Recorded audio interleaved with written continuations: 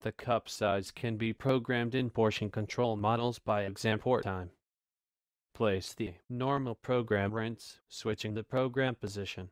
Press button A below the BUNN logo on front of the door until the set cup size menu is reached. Press button D to select programming by example. Place proper cup under dispense tip for station you desire to set. Press desired dispense button, then release when the cup is 3 quarters full. If cup is not full enough, the dispense button can be pressed again to add additional beverage to the cup. If cup has reached desired level, press button B under save to record the dispense time.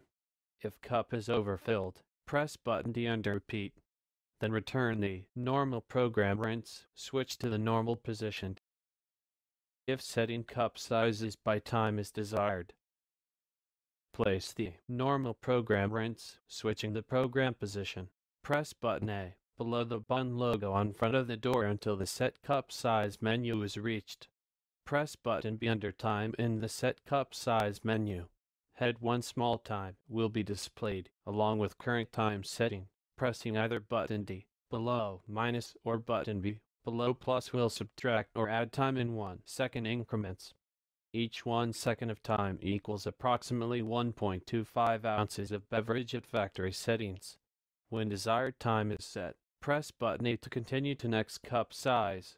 When the desired cup sizes have been programmed, press button C to exit program menus, or press button A to move to the next menu.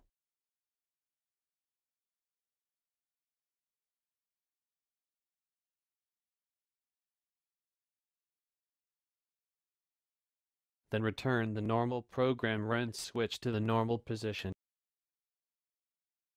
Adjusting drink strength. Place the normal program rinse, switching the program position. Press button A below the BUNN logo on front of the door until the strength adjustment menu is reached. Press the Yes B button. Set flavor by taste or recipe display appears. To set by taste, press the D button. Drink strength 1 appears, adjust using the minus or plus buttons. Press dispense button to check the taste. If OK press yes A button. If no press D button to repeat process. When the desired cup sizes have been programmed, press button C to exit program menus, or press button A to move to the next menu. Then return the normal program rinse, switch to the normal position.